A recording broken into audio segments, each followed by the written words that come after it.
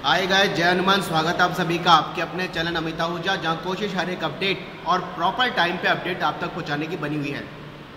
Guys JEE में जून का exam जो कि बहुत नज़दीक आ चुका है, जो कि 20 जून से 29 ऑफ़ जून के बीच में है, यानी आपके पास करीबन 10 दिन का टाइम है। तो इस 10 दिन के हिसाब से 10 डेज़ के हिसाब से आप जो भी परसेंटाइल का प्लान करके चल रहे हैं या ब्रांचेस का प्लान करके चल रहे हैं, उसके लिए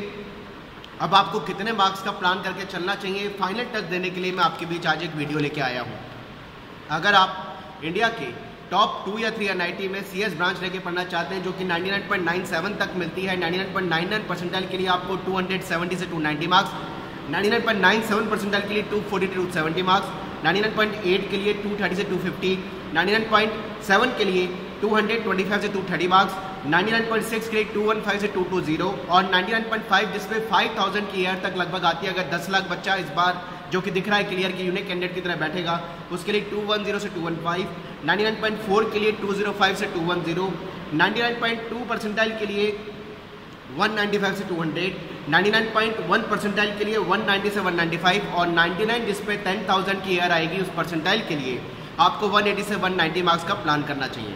अगर हम इसको और आगे देखें अगर मैं इसमें वन लाख रैंक तक की कैलकुलेशन आपको समझाने की करूँ कोशिश या 90 परसेंटाइल तक के हिसाब से समझाऊँ तो 98.5 परसेंटाइल के लिए 170 से 180 98 परसेंटाइल के लिए 160 से 170 97 परसेंटाइल के लिए 150 से 160 96 परसेंटाइल 140 से 150 95 परसेंटाइल के लिए करीबन 135 से 140 94 परसेंटाइल 125 से 135 93 परसेंटाइल जिस पे करीबन अगर 10 लाख बच्चा बैठता है तो 70,000 की ईयर आएगी। 115 से 125 92 परसेंटाइल 105 से करीबन 115 के आसपास 91 परसेंटाइल 95 से 105 मार्क्स और 90 परसेंटाइल जिस पे करीबन एक लाख रैंक आती है, जिस पे कह सकता हूँ कैटेगरी वाले बच्चों को कोई ना कोई एनआईटी में ठीक ठाक ब्रांच मिलती है, उसके लिए भी आपको 85 से करीबन 95 मार्क्स का प्लान करके चलना होगा। यानी अगर मैं इसको थोड़ा सा और प्रेसराइज करूँ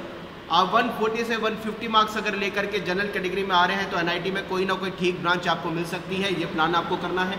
ओबीसी ईडब्ल्यूएस का अगर स्टूडेंट है, वो 125 से 135 और एस सी वाला बच्चा अगर 85 से करीबन 100 या 110 तक भी मार्क्स लेकर के आ रहा है तो उसको किसी ना किसी एनआईटी में ब्रांच मिल सकती है। तो गाइज़ कोशिश रहेगी, आने वाले 10 दिन के अंदर बहुत सारे ऐसे वीडियो आपके लेकर के, आपकी हेल्प के लेके आए, जिसमें आपको काफ़ी नॉलेज मिले और आप ये समझ पाए कि अब बचे हुए टाइम में कितना आपको और टारगेट का प्लान करके चलना है। करियर के सारे अपडेट के लिए हमारे साथ जुड़े रहे हैं चैनल पर नए हैं तो मेक श्योर इसको ज़रूर सब्सक्राइब कर लें, क्योंकि इतनी हेल्प आपको इन वीडियो में, इन चैनल पर मिलने वाली है, जो आपके करियर के लिए आपको बहुत ज़्यादा सपोर्ट देगी। चलिए गाइज़ मिलते हैं कुछ नए कंटेंट के साथ, नए वीडियो में। विश ऑल द बेस्ट मेहनत करते रहिए। जय Hanuman bye thank you very much